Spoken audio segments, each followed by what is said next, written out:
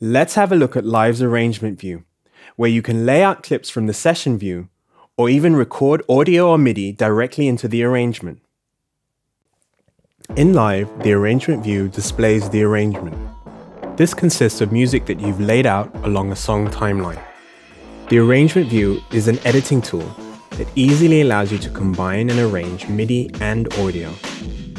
You can also automate parameters of the mixer and any devices as well. The arrangement can be created directly in the arrangement view, or clips can be created first in the session view and then recorded or placed into the arrangement. In my current live set, I have an arrangement. It consists of audio tracks and MIDI tracks. Within each of the tracks, clips are arranged horizontally along the timeline. On the right-hand side of Live's interface, each track is named and colored. Next to the track name, I'll find the routing section for inputs and outputs, and directly next to that, I'll find the mixer section for volume, panning, muting, soloing, arming tracks, and send control. The return tracks and master tracks are found directly above the timeline.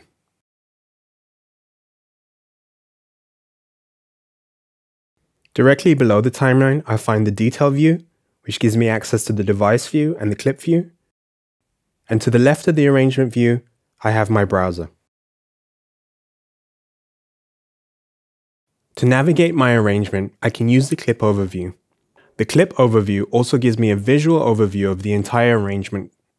I can click and drag horizontally to scroll through my arrangement, or I can click and drag vertically to zoom in or out of the arrangement. Clips can be selected in the arrangement view simply by clicking on the clip. By clicking directly into the arrangement background, a flashing insert marker appears. The insert marker can be moved left or right to select a certain period within a track or across several tracks. Clips can be moved from one song position to another simply by selecting the clip and dragging it. You can also move a MIDI or audio clip from one track to another, provided that you move them from the same type of track that they originated from. If you drag a clip into an empty space, the track that it originated from will be duplicated.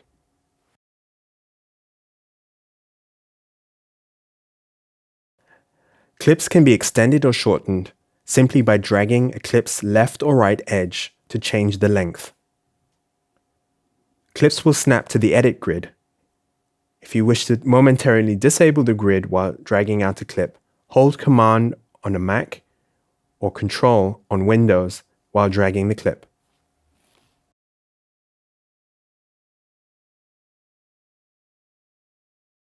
In the arrangement view, you can use locators to mark certain points within your song arrangement. These can be set in one of two ways. You can right-click in the scrub area and select Add Locator, or you can position the insert marker somewhere along your arrangement and use the Set button directly above the first track within the arrangement view. You can jump between locators by using the arrow keys directly below the Set button. Or you can select the locators directly in the scrub area. To start playback from a locator, simply double-click the locator. Locators can also be selected during playback. Live will then move from its current song position to the locator in sync with the tempo and according to your current quantization settings.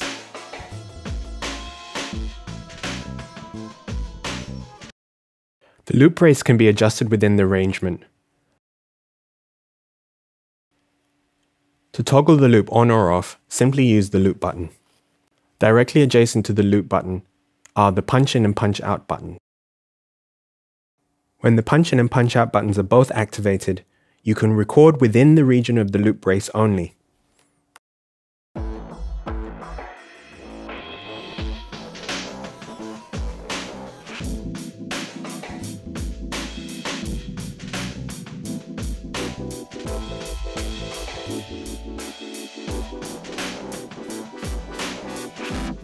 If I wish to duplicate certain sections within my arrangement, or delete certain sections of my arrangement, I can duplicate time or delete time.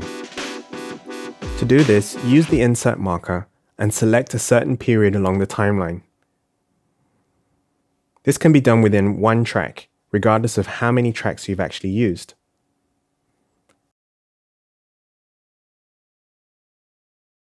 I'll then go to the drop-down menu under Edit and select Duplicate Time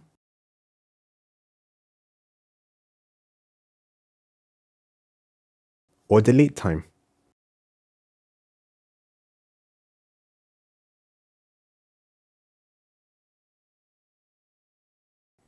Similar to the session view, the arrangement view can also have automation. Whereas in the session view, automation is only in clips, in the arrangement view, automation can span across clips, but can also contain clip automation of individual clips. To toggle between track content and the track automation of all tracks, I can press the automation mode button, or I can use the computer keyboard shortcut A. Automation that has been added in the arrangement view can be moved with the clip when a clip is moved. However, if you'd like to keep the automation in its place, then simply toggle the Lock Envelopes button directly adjacent to the Automation Mode button. When this is switched to on, you can move clips and the automation will stay in its place.